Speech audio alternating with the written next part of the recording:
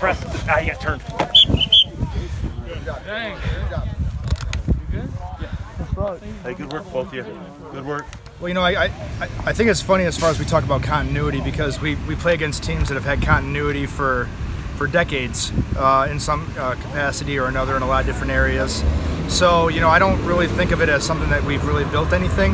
Uh, I, have been way more future focused, um, you know, as far as you know, really every year and every day that we've been we've been working because, you know, I think that's fair to what our kids are. I think when it comes to you know teams in the past, you know, they they've built a great legacy and we kind of stand on their shoulders and we are proud of that.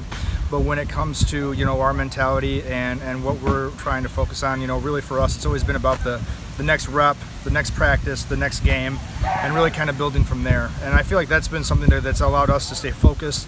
It's really allowed us to stay grounded, and I think that that's really kind of where um, we found some sort of level of success, if that's what you want to call it, because that's been our our kind of our, our model that we work with. You know, last year's team I think did a wonderful job finishing the season. We went on a five-game winning streak before we lost in the uh, district championship to Grand Rapids Catholic.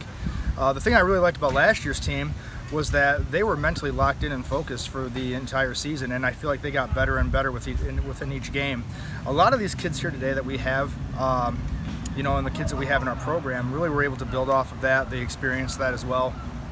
And so I really feel like the um, mentality as far as Whitehall football, I feel like the excitement of Whitehall football has really carried over since that last game.